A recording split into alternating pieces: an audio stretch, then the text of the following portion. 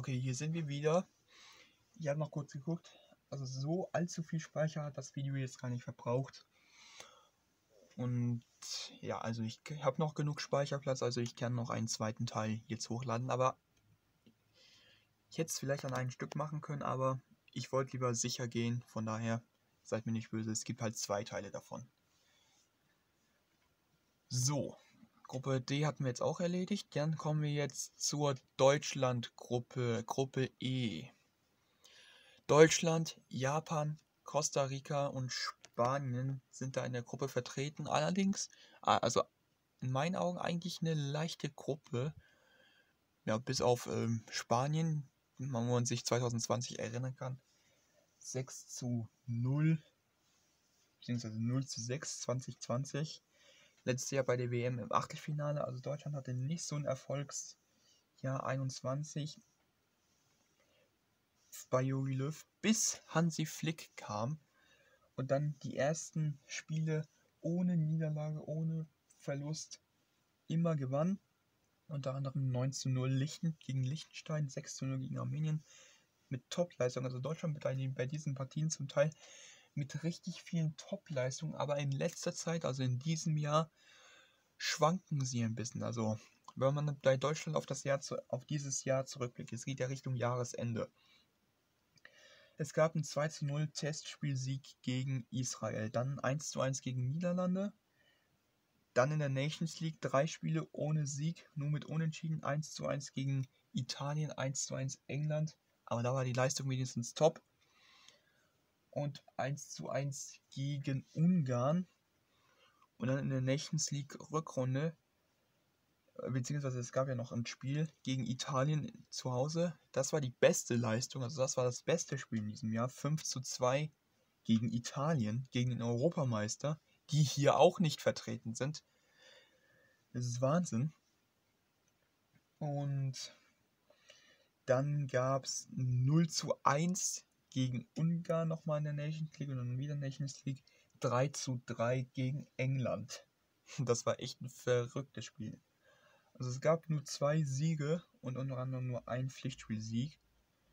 Es, es gab sogar jetzt, weil es ja noch äh, letzten Mittwoch ein Testspiel gegen den Oman gab, 1 zu 0. Schwache Leistung eher. Füllkrug hat getroffen. Darüber habe ich jetzt halt nicht berichtet. Ich habe mir das Spiel auch jetzt nicht wirklich angeguckt. Hatte zu viel zu tun.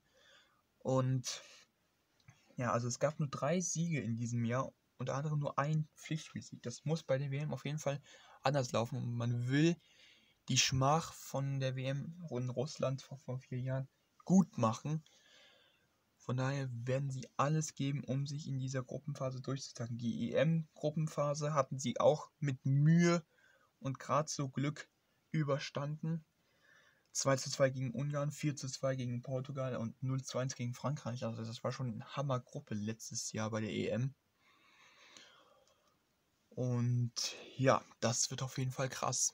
Ich bin gespannt, wie sich Deutschland in dieser Gruppe durchsetzen wird. Auf jeden Fall, das erste Spiel ist zu einer blöden Uhrzeit gewählt worden. 14 Uhr. Ich habe da nachmittags noch Unterricht. Von daher, vielleicht, wenn der Lehrer eine Ausnahme macht, kann man Fußball gucken.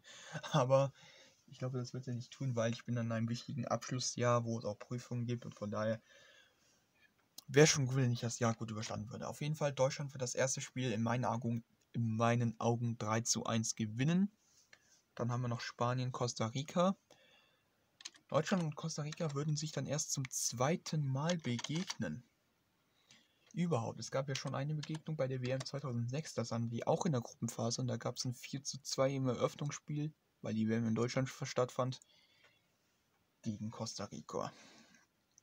Hier wird sich Spanien gegen Costa Rica 4-0 durchsetzen.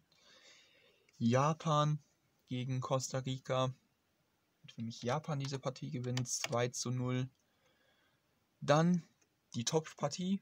Nächsten Sonntag, erster Advent, 20 Uhr. Darf man nicht verpassen. Top-Partie. Da wird Deutschland sich für die 0 zu 6 Klatsche rächen wollen und wird diese Partie knapp mit 3 zu 2 gewinnen. Das sehe ich in meinen Augen. Mal gucken, ob das gut geht. Also von der Partie habe ich schon ein bisschen Schiss. Dann haben wir noch zum Schluss Japan-Spanien. Klares Ding. 3 zu 1 für Spanien. und Costa Rica Deutschland. Das muss Deutschland ziemlich deutlich gewinnen. Von daher 5 zu 0 aus meiner Sicht. So, also Deutschland, ich zähle auf euch. Ich werde mir das angucken. Und ja, dann haben wir die Gruppe. Hier habe ich jetzt ein bisschen eine bessere Übersicht, jetzt anstatt hier rüber zu schwenken. Ja, die Maus bewegt sich aber nicht. Also Deutschland wird hoffentlich in meinen Augen die Gruppe gewinnen. Dann als zweiter wird sich Spanien durchsetzen. Es kann auch meinetwegen anders laufen. Hauptsache Deutschland kommt weiter. Dann haben wir Japan. Und dann haben wir Costa Rica. So. Also hier kann man es irgendwie so einsehen, aber hier bin ich ein bisschen Risiko gegangen. Hier Mexiko wäre für mich eher der Favorit als Polen. Ich habe mich jetzt einfach mal so entschieden. So, dann haben wir nach E kommt F, Gruppe F mit Belgien, mit Marokko, mit Kroatien, mit Kanada, Kanada und Wales. Jeweils eine Nation, die sich nach etlichen Jahren wieder für eine WM qualifizieren. Also Kanada habe ich gelesen, zuletzt bei der WM dabei gewesen seit 1986 und Wales zuletzt vor 64 Jahren bei einer WM dabei gewesen. Also die beiden sind die Rückkehrer bei WM-Turnieren. Und hier haben wir Marokko, die ja schon letztes Jahr, äh, letztes Jahr, letztes Mal, vor vier Jahren, so, vertreten waren. Damals in der Gruppe mit Portugal und Spanien. Und hier gegen Kroatien wird es direkt schon mal eine Klatsche geben. 0 zu 4 mein Tipp für die Kroaten. Und dann Belgien, Kanada. Kanada weiß ich nicht, ob Alfonso Davis dabei ist. Ich denke schon. Ich hoffe es und wünsche ihnen alles Gute. So wichtiger Mann für die Bayern. Aber gegen Belgien werden sie wohl keine Chance haben. Aber ein Tor werden sie schießen. Aber vier Gegentore bekommen. Dann haben wir Belgien, Marokko. Belgien, klar, Top-Favorit in dieser Gruppe, müssen wir nicht drüber reden. 4 zu 0 wird es in meinen Augen. Dann Kroatien, Kanada. Könnte ich mir eventuell vorstellen, dass es ein knappes Ergebnis wird. Allerdings halt für die Kroaten. Von daher würde ich mal da 3 zu 2 zu einem 3 zu 2 Sieg für die Kroaten tippen.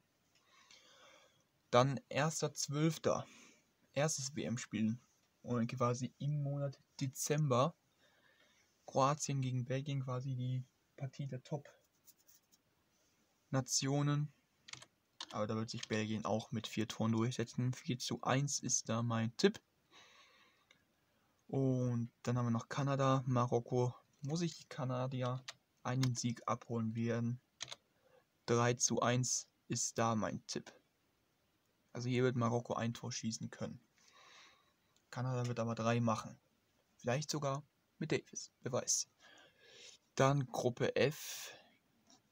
Tue ich auch nochmal bestimmen. Wie gesagt, ich werde noch zum Schluss des Videos nochmal sagen, wie es hier mit den Spielen, äh, wie es hier mit den Videos laufen wird.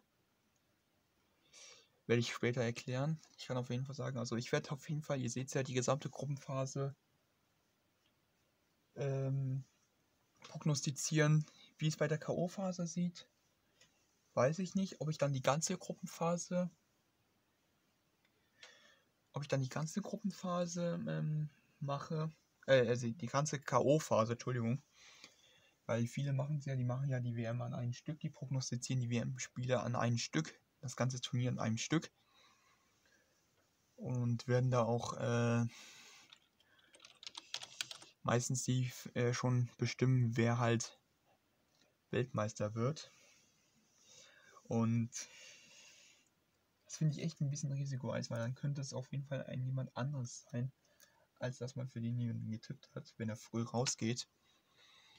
Ähm, von daher weiß ich nicht, ob ich die gesamte K.O.-Phase äh, prognostizieren will ob, oder ob ich die einzelnen mache. Auf jeden Fall, Gruppenphase mache ich komplett aus dem Grund, da auch viele Spiele Also da die zweite, da der zweite Spieltag unter der Woche starten wird.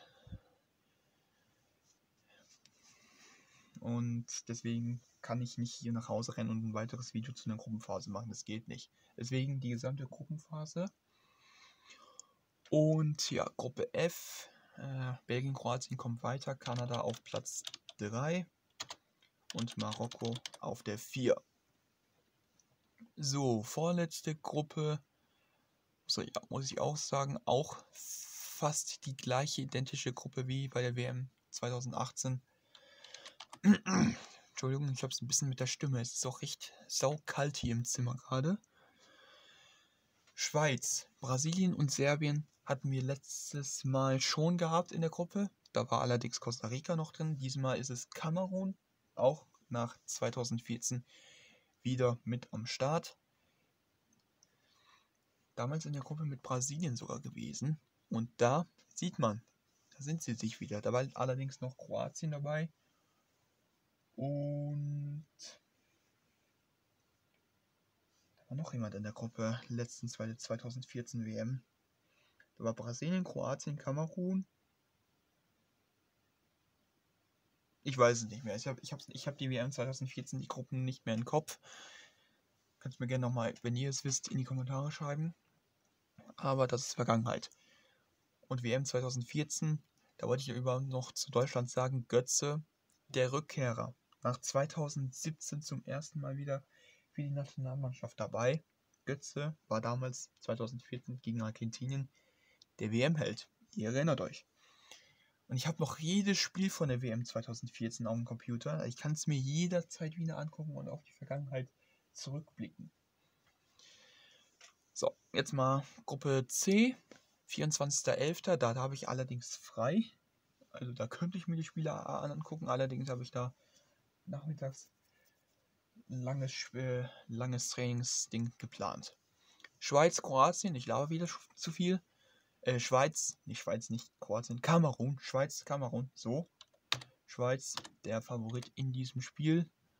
3 zu 1. Dann haben wir Brasilien, der fünffache Weltmeister.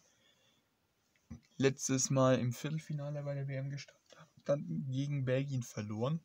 Überraschend. Hier gegen Serbien wird es ziemlich klar. Wie gesagt, Serbien und Brasilien standen sich ja schon bei 2018 äh, gegenüber.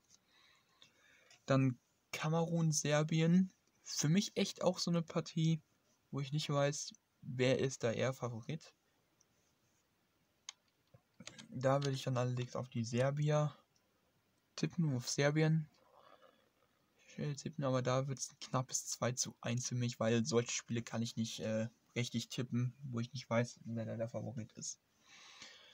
Dann Brasilien, Schweiz, Top-Partie. Da gab es bei der WM 2018 ein 1 zu 1. In diesen Augen wird es ein 3 zu 1. Kamerun, Brasilien. Wir nicht drüber zu reden. Brasilien, klar. Belegen wird 5 Tore in diesem Spiel schießen. Und dann haben wir noch Serbien, Schweiz. Sind sie auch begegnet? Also Serbien, Schweiz, Brasilien hatten wir schon bei der WM 2018 in der Gruppe gehabt. Und Schweiz wird sich durchsetzen. 3 zu 1.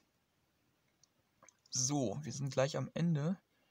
Aber wie gesagt, ich werde noch gleich was, äh, noch äh, ein paar Worte sagen, wie es jetzt ablaufen wird. Von daher muss ich mich beeilen. Schriftart, Schriftgröße, so. Da haben wir Brasilien. Aber wie gesagt, sowas habe ich echt noch nicht gemacht. Schweiz. Ähm, dann Serbien. Upsala, Entschuldigung. Und Kamerun als Gruppenletzter. Ich hoffe, ich habe alles richtig. Müsste aber. So, und dann kommen wir jetzt endlich zur letzten Gruppe. Ich sitze schon hier seit 40 Minuten fast und mache hier das Video. Wie gesagt, es wird in zwei Teilen hochgeladen.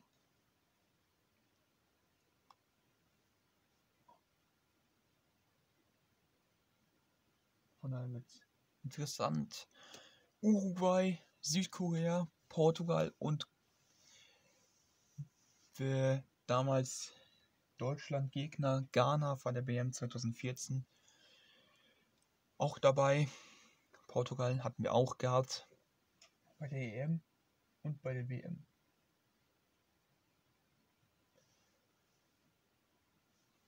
So, Uruguay gegen Südkorea haben wir die erste Begegnung. Südkorea, ihr könnt euch noch bei der WM erinnern, hat uns aus dem Turnier geschmissen. Aber erst kurz vor Schluss. Wahnsinn.